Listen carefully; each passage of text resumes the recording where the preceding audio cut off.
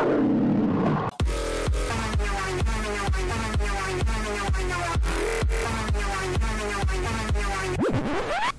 High Point. Today is a B day. Today at 5.30 there'll be a home basketball game for the boys varsity team. Come and support.